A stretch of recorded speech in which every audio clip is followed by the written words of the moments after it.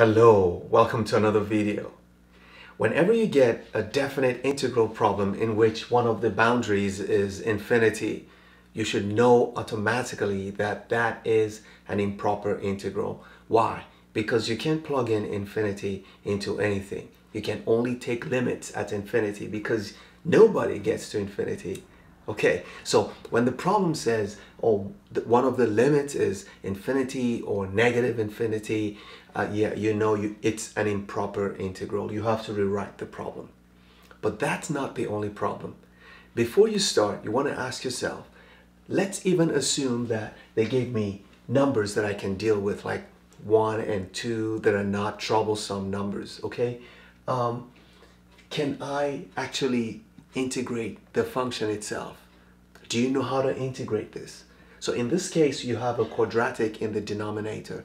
And when you have a quadratic in the denominator, um, you want to say it's either I can factor the quadratic or I have to write the quadratic as a uh, uh as a perfect square. You complete the square, okay? But at this point, we can see obviously that this is a very common quadratic where you can factor to x plus 2, x plus 3. So that second part of the problem is taken care of. So we have to go back again. So we know there's infinity on this side. That's improper. We want to check out 0 also. Is it possible for us to plug in 0 into this function without having any problem? Yes because we plug in 0, this is going to be 0 plus 0 plus 6. So this is not undefined at 0. So we don't have two problems, we have just the problem of infinity. Because in some functions, the function will be undefined when you plug in the lower limit to. And so you have two um, problems, you have to write two separate um, integrals or even limits. So at this point, we know that the only major problem for this problem is infinity. So like I said, um, we want to know if we can in integrate this. Well, we can integrate this because we can factor this and separate it into two um, different functions, which we can use um, um, integration by partial fractions. Okay, we have to do the partial fraction decomposition of this.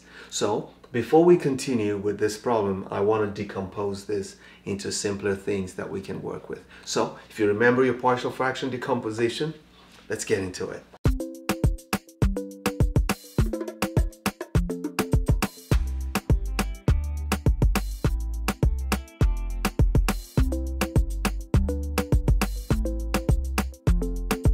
So the first thing we're going to tell ourselves is this expression can be rewritten in the factored form to be x plus 2 and x plus 3. Okay, so now if we rewrite this, we have factors, linear factors, which makes life a lot easier because we can assume that actually there were two fractions that were written as a over x plus 2 plus b over x plus 3. So we just want to know what a is and what b is and we'll be fine. And how do we do that? Well, um, if you've mastered your partial fraction decomposition, you just want to drop this down. The numerator will be equal to, if you cross multiply, because what we actually do is to multiply this side and this side by this denominator. You notice that if you multiply this side by the denominator, um, it's going to cancel this out and what you have left is going to be 1. If you take these two and multiply each of these terms, what you're going to have here is this x plus 2 is going to cancel this out and you're going to have a into x plus 3.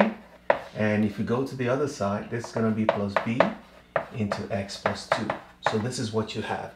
Now, the quick method to deal with this is to just look for a very good number that will zero out one of these. So I'm going to start with x equals negative 2. If I put x equals negative 2 here, there's going to be negative 2 plus 2. That's 0. 0 times b. Everything zeroes out. Put that same negative 2 here this is going to be negative 2 plus 3 that's going to be 1 1 times a is 1 so a is a rather so a equals 1 so I've got when x equals negative 2 um, I got a equals 1 so remember these are constants so it doesn't matter what number you substitute the, the values of a and b will not change. So let's do the same thing.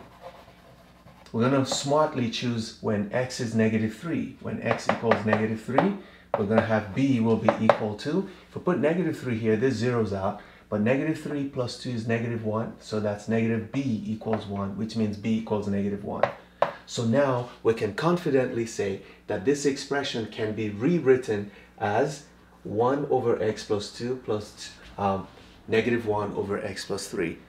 That's what we're going to do. So we can say that the integral that we have here actually 1 over x plus, um, 2 x plus 3 is the same thing as saying 1 over x plus 2 minus 1 over x plus 3 because b is negative 1. Okay, so that's what we have. We can now go back here and rewrite this problem like this. This is equal to the integral from 0 to infinity of 1 over x plus 2 minus 1 over x plus 3 everything dx. So that's a simplified form and it's easier for us to deal with now. So now, because we cannot plug in infinity at any point after we take the integral, we have to write this as a limit because it is improper. So how do you write improper integrals? This is what we're going to do. We're going to say that this is the limit as r goes to infinity of this integral 0 to r.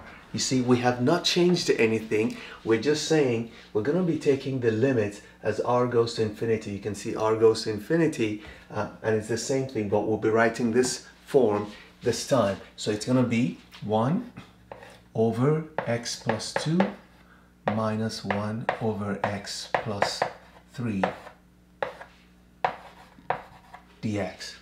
So the next thing, because these are very easy, we can take the, the integral of them. They are linear functions. So this is going to be the same thing as the limit as r goes to infinity of, if we integrate this, it's going to be the natural log of x plus 2. So ln x plus 2.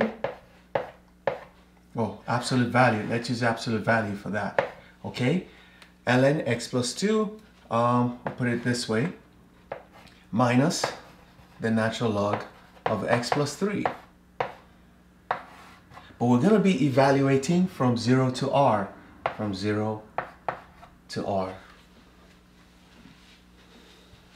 See, that's cool. Now, let's evaluate from 0 to r. We're going to substitute r here. We're also going to substitute um, r here. And then we substitute 0 and then substitute 0 here. And this is what we're going to have. This is going to be equal to the limit as r goes to infinity of the first portion, if we substitute r, we're going to have the natural log of r plus 2 divided by r plus 3. I just applied the laws of logarithms because remember when you, when you um, subtract two um, logarithm terms from each other, it's the same thing as taking um, the ratio of the arguments. So it's the ratio of the arguments. Remember that logarithm law that the log A minus log B is equal to log A over B. Remember this, okay? So that's what I just applied here. Let's get rid of this.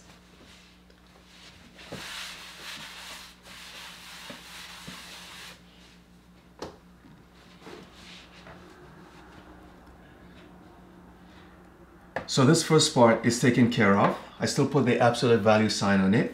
And then I would say minus. So put this away here. Um, ln, when you plug in 0, this is going to be a natural log of 2 minus natural log of 3. So it's going to be 2 over 3. Okay, um, this is positive, so I don't need to put the natural, I mean, put the absolute value sign. There's no function there, it's a constant. So now what do we do? We have to take this limit. What do you think the limits will be as r goes to infinity? Well, as r, r, as r goes to infinity, um, one more thing. We can divide the top and the bottom by r. Let's just divide every single term by r. So this is going to be equal to um, the limit as r goes to infinity of the natural log of r over r plus 2 over r divided by r over r plus 3 over r. Okay, let's still do the absolute value there. minus the natural log of 2 over 3.